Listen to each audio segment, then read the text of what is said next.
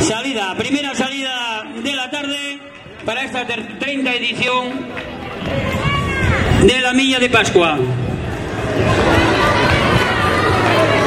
Allá va el futuro de ese deporte.